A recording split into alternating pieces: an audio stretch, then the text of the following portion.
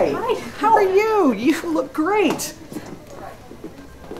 So, what are we gonna do today? Um, I just think I need a little bit more shape, you know, so just to clean it up, but mm-hmm. just maybe like get the ends a little bit. I mean, I definitely need a trim. I just don't know.